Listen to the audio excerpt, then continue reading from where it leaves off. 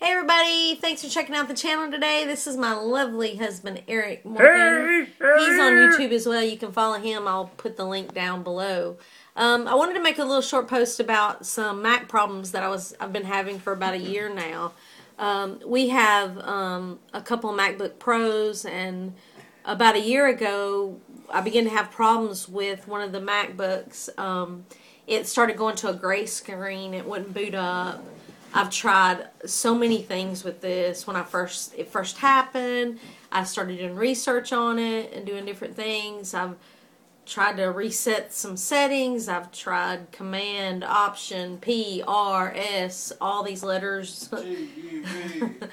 Yay! So um, my other Mac, the little one I have here, is starting to act up. It's it's a little bit older than the bigger one that I have, and so uh, the camera actually broke in it, and I need that camera to talk to my daughter. So I tried, decided I'd try to break out the the uh, other Mac and see what I could find out if there's anything new going on with the problem that it was having, because a lot of people have this issue.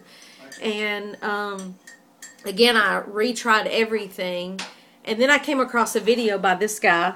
Wait, we took it to the Mac store first. Oh yeah, we did. We took it to the Mac store first, and they said you just need to just realize that there are not going to be any updates for this computer. It's really old. Blah blah blah. And we'll replace the logic board for three hundred and ten dollars, and then uh, we'll won't guarantee we'll guarantee it for thirty days. And so I was like, well, I don't know if I really want to put that much money in. Maybe I'll just use that, save it towards getting a new one. And so I was just done with it. But and then jump forward again to what I was saying about my daughter being in college. I want to be able to talk to her with a video chat. Um, and then my camera broke on this little Mac, and so that's why I tried to decided to try to do some research again and try to fix the problem. So I was on uh, last night. I was up late. Um, I wanted to try to upload the new Maverick software to the the computer, but I couldn't get it to boot or do anything. And then I came across a video of this guy right here. His name is Roderick. What? He's a uh, Father Roderick of Von Hagen. and um, he, I, I was reading about on one site to unplug the peripherals, everything around it. I guess that's what it means. Is that the right word? Peripherals. So I was, um, so I'd done that. I thought, but I didn't think the power cord being something that needed to be unplugged. So I unplugged it for 15 seconds. Uh, then plugged it back in for five seconds, then rebooted, and then I was able to get into the disk utility, and lo and behold, dun dun dun, I am now reloading. Reloading.